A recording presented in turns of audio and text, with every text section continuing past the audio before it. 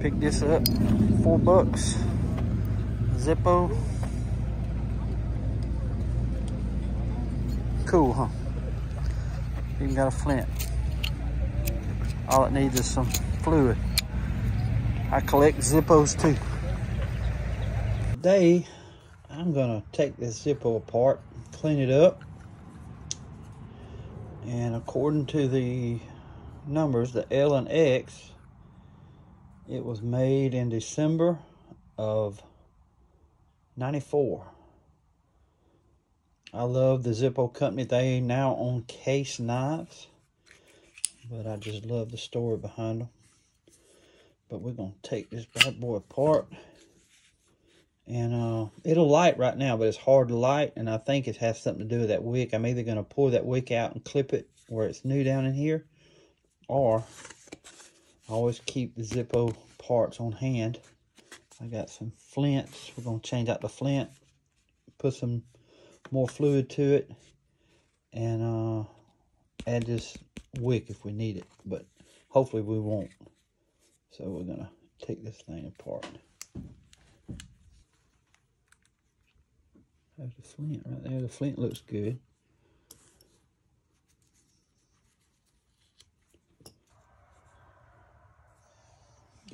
A little here.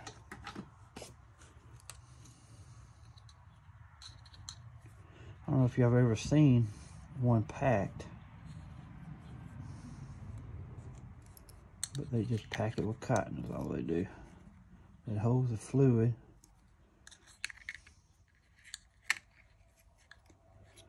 And there's a wick down in here.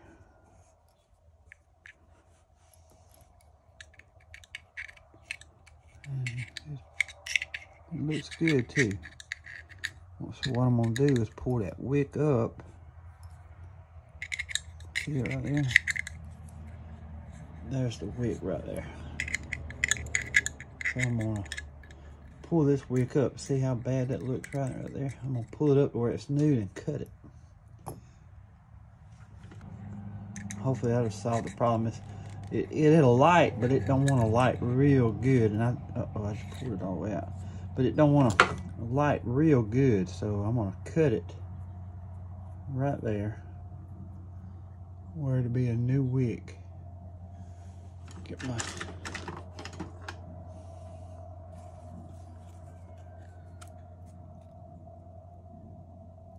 right in there.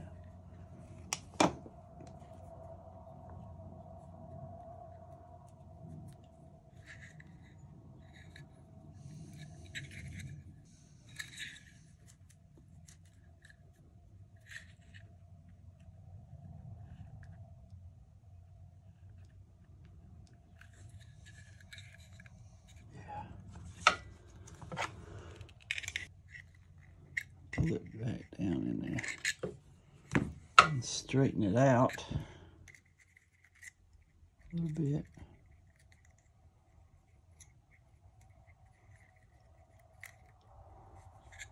I think that's good. I'm just going to start putting the cotton back down in there.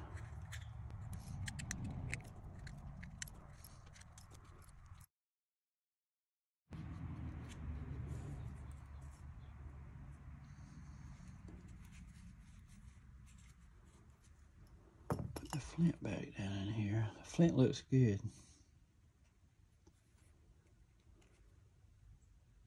Once I get this put back together, we're going to see if it's going to light good. It just wasn't wanting to light good yesterday, and I think it has a lot to do with that wick right there. It's just old and nasty. All right, let's get this thing back together. Make sure I don't have it.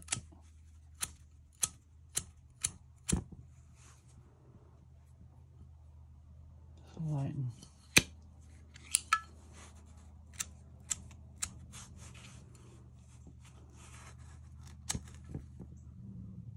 Lighting better. Might be because it's it's dirty down here too. See all that dirt down here. That could be a lot to do with it too, or that flame ain't getting up in there real good. See all that? Just dirt. I guarantee you though, I guarantee you that dirt has a lot to do with the lighting. Oh yeah, see there? There's still a little bit of grime right here. See it right there?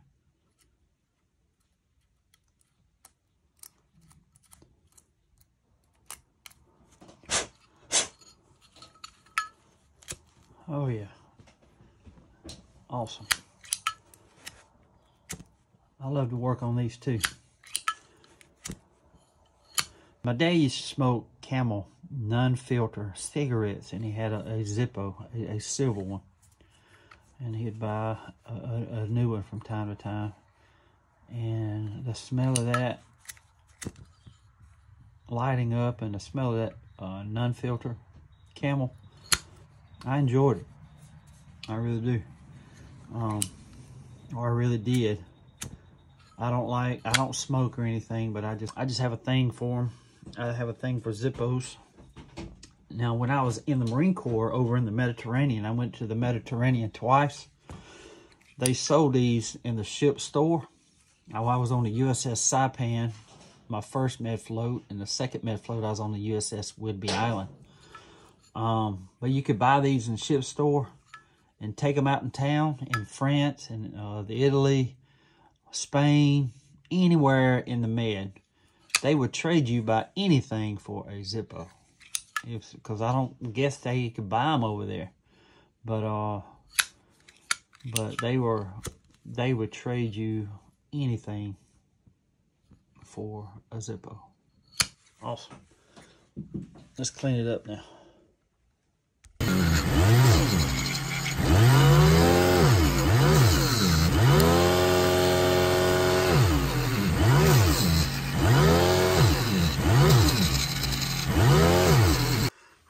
Cleaned it up.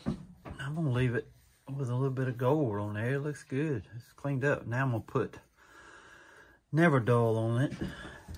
Shine it up even more. Some good stuff. You know, George Blaisdell, he uh, invented the, the Zippo. He founded the Zippo Manufacturing Company in 1932 and made the first Zippo lighter in early 1933.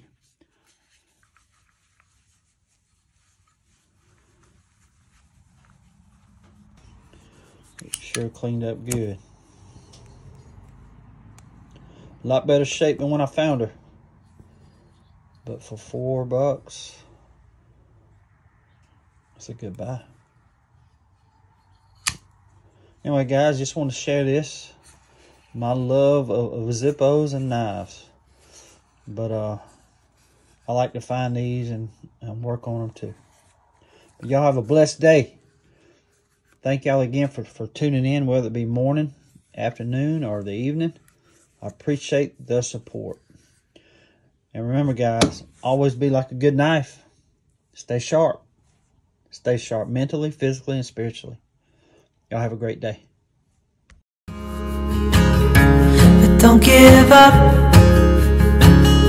Just hold on tight. It'll be alright.